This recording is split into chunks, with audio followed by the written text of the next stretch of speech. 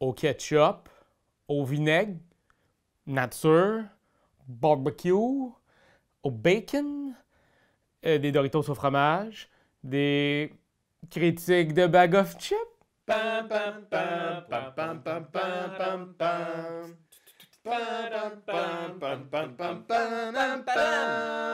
Bag of Chips. Je suis excessivement excité aujourd'hui, Internet, de te parler de ce beau petit jeu-là, qui est un jeu de.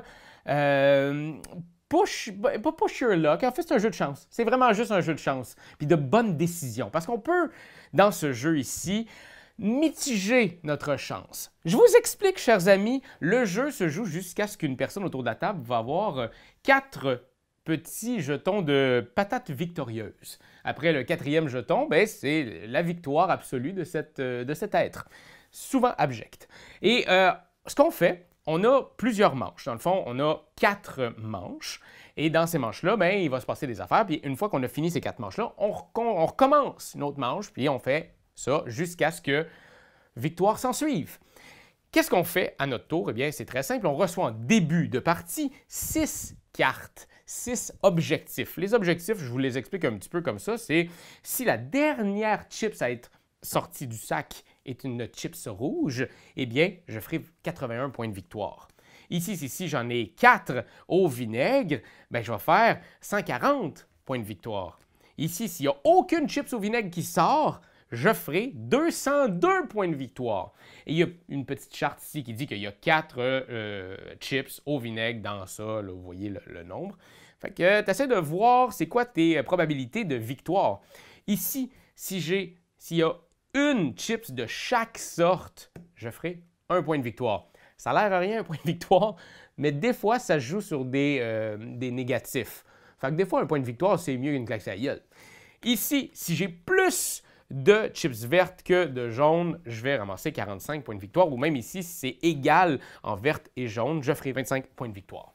Alors, qu'est-ce qui se passe? Manche 1, on va piocher dans notre joli sac de chips. On va piocher 5. 5 croustilles! Et je vais les mettre juste ici. Regardez-moi le beau hasard. Et là, ce que je vais faire, c'est que je vais évaluer parmi tous les objectifs que j'ai en main, ceux qui m'intéressent moins. Parce que là, je vois que. Il y a des affaires qui sont sorties qui finalement ne m'aideront pas à réaliser cet objectif-là. Alors, ce que je vais faire, c'est que je vais devoir, moi et tous les gens autour de la table, vont devoir scraper deux cartes. Alors, moi, celle-là, puis celle-là, je veux pas. C'est tout. Fin de la manche 1. On continue. On en pioche 4. Poup, poup, poup, poup, poup. Et après ça, on va en piocher 3 et 2. Après la deuxième manche, on en enlève un. Et après, ici, c'est là le petit moment bien intéressant. À la manche 3, ce qu'on va faire, c'est qu'il nous reste 3 cartes en main. On va mettre à droite ici un objectif qu'on sait peut-être qui ne fonctionnera pas. Fait que je mets celle-là et les deux autres, je les mets de ce côté-ci à droite, qui ce sont, dans le fond, celle-là, c'est celle que j'annule, et ça ici, c'est ceux que je marquerai en fin de partie. Donc, sur les six objectifs qu'on a en début de partie, il y en a seulement deux qu'on va scorer, si on est capable de scorer. Parce que, comme je vous dis, c'est du hasard.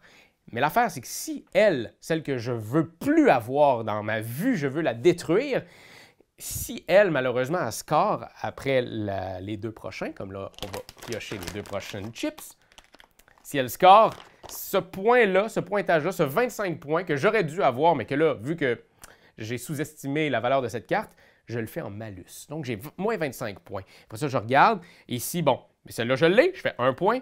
Et ici, je ne l'ai pas. Donc, 1, euh, moins 25. euh, donc, euh, moins 24. Fait que je fais moins 24 points. Et on va regarder autour de la table, c'est qui qui a le meilleur score. Le meilleur score va rapporter deux points de patate victorieuse et l'autre, après, va ramasser un point de patate victorieux. Parce que, dans le fond, première place et deuxième place. C'est ça le jeu. C'est aussi simple que ça. C'est le genre de jeu que tu as sur la table des cartes. Tu vas juste dire au monde, regarde ça, choisis-en, voici les chips, on y va, go for it. Et c'est chouette. Ça te fait creuser la tête, on a du plaisir autour de la table. Au début, on comprend pas trop. Moi, ma blonde, mettons, elle n'a pas eu de plaisir euh, de, toute la game. Parce que le côté hasardeux de Bag of Chips, ça l'a un peu... euh, ça l'a mis un peu en rogne. Parce que les fameuses cartes, là, je vais vous la ressortir parce que sais, celle-là, là, c'est de mettre beaucoup d'espoir dans la dernière chips qui sort. Donc, 81 points, cool si la dernière chips est rouge. Oui, je sais que là, regardez, regardez la probabilité. Il y a beaucoup de probabilités que ce soit une rouge qui sorte. Il y a beaucoup de probabilités que celle-là, je l'aurais gardée, puis elle n'est pas sortie. Fait que des fois, ça peut faire chier. Mais j'aime cette idée de de simplicité dans le jeu, une stratégie tellement, tellement cool de juste faire, mais regarde, ça je le veux pas, ça je le veux pas, ça je le veux pas, puis m'a m'essayer là-dessus parce que faut bien évaluer, il faut bien travailler notre pourcentage de victoire devant nous, notre pourcentage de, de réussite de certaines cartes, puis ça, moi, ça m'excite. Ça fait en sorte que le jeu, je trouve qu'il y a une petite twist le fun, ça aurait pu être juste des objectifs et pas de hasard. Moi, ce hasard-là, je le trouve excitant à fond. Mais si toi, à la maison, tu détestes les jeux de hasard, euh, fuis, fuis de Bag of Chips. Ne mange plus de chips pour le reste de ta vie. Ben, pour moi, le petit hic, puis c'est peut-être parce que je suis vieux jeu, mais je, je pense que le, le, design du sac, il est ma foi, incroyable. On dirait un beau petit sac de Skittles. Euh, le son aussi te donne envie de manger des chips. C'est vraiment, puis c'est de la bonne qualité, c'est robuste, ce qui fait en sorte qu'il ne se déchirera pas au fil du temps. Euh, puis comme c'est du plastique, ça va sans doute prendre des millions d'années avant que ça, se défasse. Mais pour moi, je me, vois mal mettre ça dans, dans ma ludothèque sans écraser les chips qu'il y a dans le sac si je mets un jeu par-dessus ou, il va être juste flagotant en haut. Je ah, je verrai pas c'est quoi, il va juste avoir un sac dans le fond. J'ai l'impression que ça va faire en sorte qu'il va peut-être moins sortir. Euh, je sais qu'il y a une gamme présentement que, mettons, le, euh, Scorpion masqué sort et c'est des petites boîtes qui se mettent super bien. Oui, qui se rangent bien, qui sont tout petites, qui sont cute, mais qui ont un appui, fait que tu peux mettre dans ta bibliothèque debout. Fait qu'on a envie de le voir. Lui ici, il faut que je mette une tasse moderne derrière. Fait que. Euh, il y a comme quelque chose, moi j'aurais peut-être voulu une boîte, puis dedans un sac qui fait en sorte que, ben on le sort, mais quand il est rangé, tout est clean. Comme je vous dis, je suis peut-être vieux jeu aussi.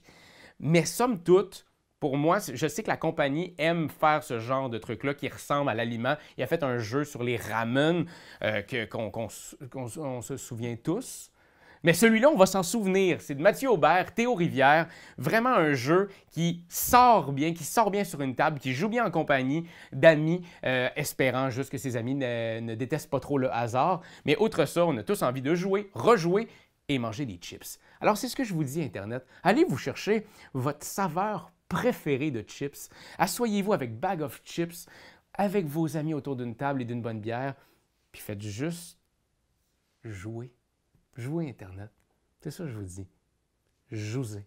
C'est toi de trouver l'épisode de jour du Popoche? Sonne la cloche! Sonne la cloche! On parle de jeu, like-nous, commande, suis-nous, suis-nous! Ouais. Sonne la cloche! Sonne la cloche! Partage à tes amis, partage à ta mamie, ouais! Sonne la cloche! Sonne la cloche! Comment ton ouais, fais le mon kiki! Sonne la cloche! Sonne la cloche! Sonne la cloche comme quand Jésus a sonné à la porte pour aller souper chez Zachée!